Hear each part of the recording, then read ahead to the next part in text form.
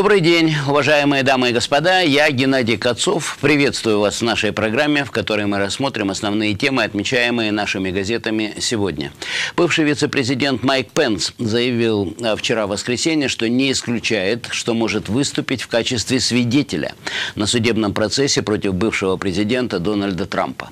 Соединенные Штаты осуждают очередной приговор, вынесенный в пятницу российским судом против оппозиционного политика и борца с коррупцией Алексея Навального. 19 лет тюрьмы.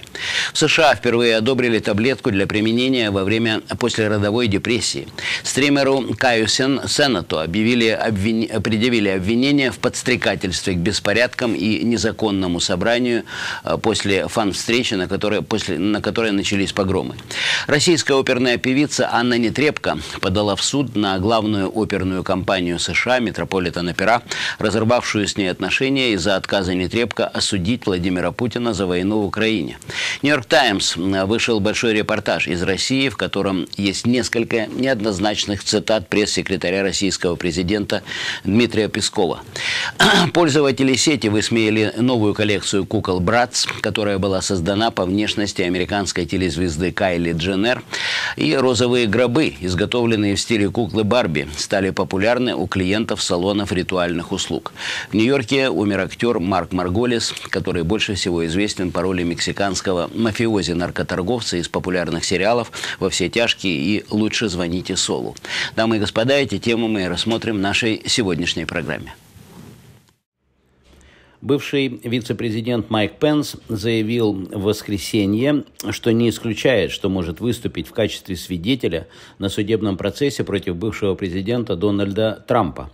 Напомню, что Трампу были предъявлены обвинения в организации преступного сговора с целью отменить его поражение на президентских выборах 2020 года.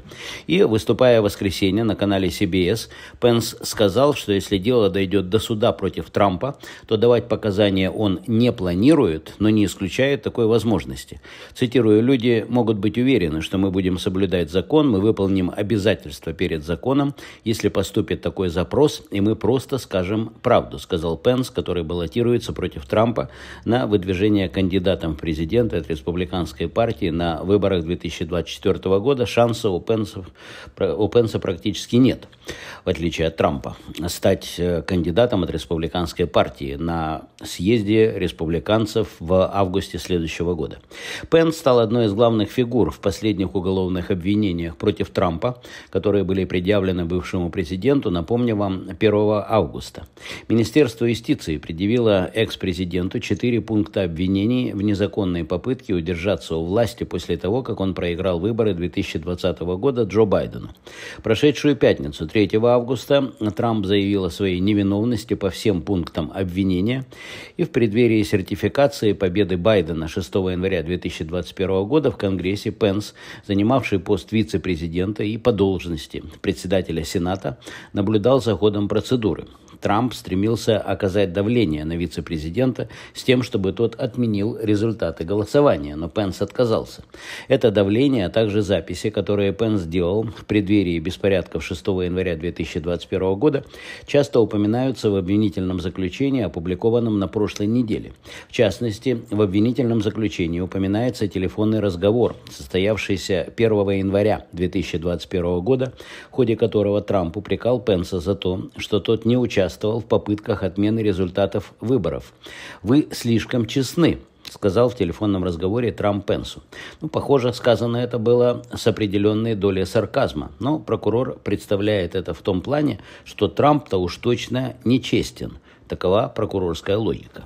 Возможные показания Пенса и его записи могут стать ключевыми элементами обвинения против Трампа на суде. В этом году Трамп уже трижды предъявляли, три, а Трампу уже трижды предъявлялись обвинения. В двух других уголовных делах он не признал себя виновным.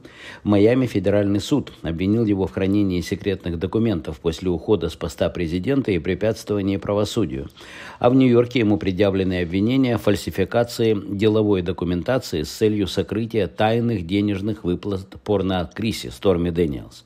На этой неделе Трампу может быть предъявлено четвертое обвинение в Джорджии, связанное с его попытками отменить результаты в этом штате после выборов 2020 года. Соединенные Штаты осуждают очередной приговор, вынесенный в пятницу российским судом против оппозиционного политика и борца с коррупцией Алексея Навального. Один из лидеров российской оппозиции был приговорен к 19 годам лишения свободы по необоснованным обвинениям в так называемом экстремизме. Это произошло в прошлую пятницу. В заявлении официального представителя Госдепартамента Мэтью Миллера э, этот вердикт суда в отношении Навального назвали несправедливым завершением несправедливого судебного разбирательства. Цитирую. В течение многих лет Кремль пытался заставить Навального замолчать и не допустить, чтобы его призывы к прозрачности и подотчетности дошли до российского народа, заявил Миллер, проведя этот последний судебный процесс в тайне и ограничив доступ адвокатов к предполагаемым доказательствам, российские власти еще раз продемонстрировали как необоснованность дела, так и отсутствие надлежащей правовой процедуры для тех, кто осмеливается критиковать режим. Конец цитаты. В пятницу Навального приговорили к дополнительным 19 годам заключения по уголовному делу, которое, по словам самого политика и его сторонников, было сфабриковано, чтобы навсегда оставить его за решеткой и вне политики.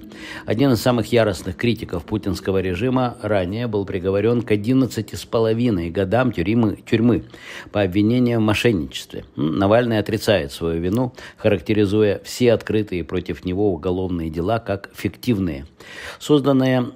Навальным оппозиционное политическое движение «Фонд борьбы с коррупцией» ФБК. Решением суда было объявлено экстремистским.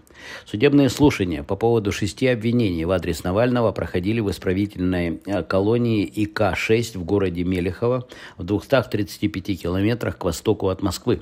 Оппозиционеру вменили в вину подстрекательство, финансирование экстремистской деятельности и создание экстремистской организации.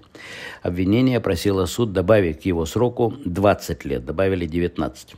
В российских СМИ пишут, что если 47-летний политик полностью отбудет наказание, то он выйдет на свободу в 2050 году в, 20, в 74-летнем возрасте. 74 года ему будет. Сам Навальный накануне вынесения приговора писал в соцсетях, что пятничный вердикт вряд ли имеет значение, как он отметил, в контексте всех юридических проблем, с которыми столкнулся оппозиционер. Государство все еще пытается обвинить Навального в терроризме, что повлечет за собой дополнительные длительный тюремный срок, ну, не менее 10 лет. Цель Кремля, по мнению Навального, напугать россиян, как он пишет. Однако политик призвался граждан не пугаться и хорошо подумать о том, как лучше всего противостоять злодеям и ворам в Кремле. Соединенные Штаты осуждают обращение Кремля с Навальным, Владимиром Карамурзой и еще более чем 500 российских политзаключенных.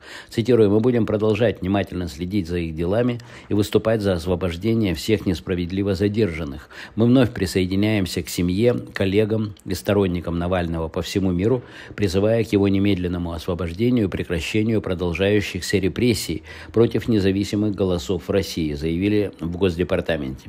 Обвинение Обвинения против Навального связаны с его ролью в ныне несуществующем политическом движении, которое власти обвинили в попытке разжечь революцию с целью дестабилизации общественно-политической ситуации. Евросоюз также осудил, как сказано, очередное политически мотивированное решение российского суда против Навального и призвал немедленно освободить политика. Верховный комиссар ООН по правам человека Фолькер Тюрк заявил, что приговор вновь вызвал у него серьезную обеспокоенность по поводу использования российскими властями судебной системы в политических целях. В США впервые одобрили таблетку для применения во время послеродовой депрессии. Американское управление по надзору за качеством пищевых продуктов и медикаментов FDA решило, что препарат Зуранолон, продаваемый под торговой маркой Зурзувай, можно принимать один раз в день в течение двух недель. И, как сообщила FDA, до сих пор для лечения послеродовой депрессии применялись только препараты, которые нужно вводить при помощи внутривенной инъекции. Производители лекарства, компания Sage э, Therapeutics и, и Biogen заявили, что таблетки должны появиться в продаже в конце этого года. Их цена пока не объявлена.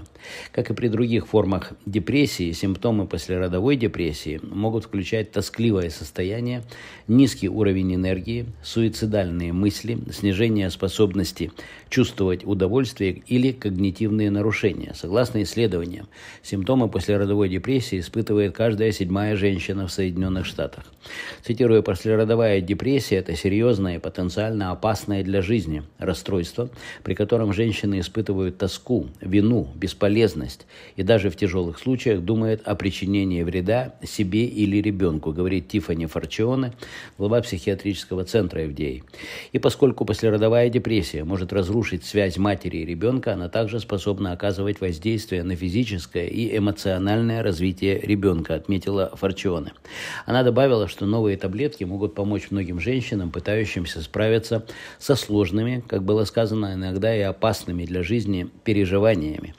Клинические испытания показали, что таблетка помогла значительно уменьшить симптомы депрессии в течение трех дней после первого приема. По данным FDA, действие препарата продолжалось через 4 недели после последней дозы. Но вместе с тем, FDA отмечает, что наиболее распространенными побочными эффектами от приема препарата Зурзувай могут быть сонливость, головокружение, диарея, усталость, простуда и инфекции мочевыводящих путей. Агентство также сообщило, что на этикетке содержится предупреждение о том, что Зурзувая ZUR-ZUVAE, так вот все это выглядит Э, в спеллинге. Так вот, это, э, это лекарство может повлиять на способность человека управлять автомобилем и выполнять другие потенциально опасные действия. Пациентам рекомендуется воздержаться от управления транспортным средством или работы с тяжелыми механизмами в течение как минимум 12 часов после приема лекарства. Ну, компании Sage, эм, Sage э, Therapeutics и Biogen также попросили одобрить применение зуранолона при клинической депрессии. Но FDA заявила, что в этом случае не было предоставлено существенных доказательств эффективности лекарства и предложила подождать дополнительных исследований и разработок. Представители Sage э, Therapeutic э, заявили, что огорчены этим решением на фоне нынешнего кризиса психического здоровья, когда миллионы людей с клинической депрессией пытаются найти способ облегчить свои симптомы. Давайте прервемся на рекламную паузу, после чего вернемся в передачу.